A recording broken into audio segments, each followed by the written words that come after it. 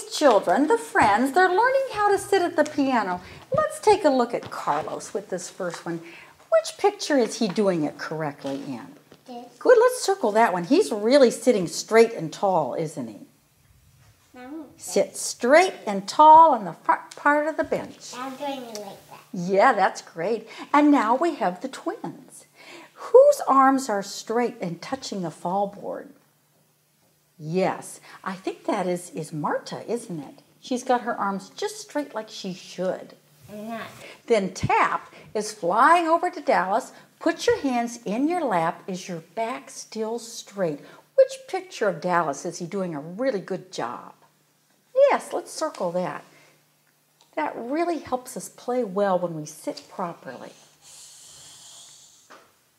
Oh, yes, good. Who is she balancing on her head? Yes, and hear what has happened at the piano. She's asleep. Fallen asleep. I know. Alexandra, would you like to circle her? I'm going to do that. Oh, sure. I caught it. That's great.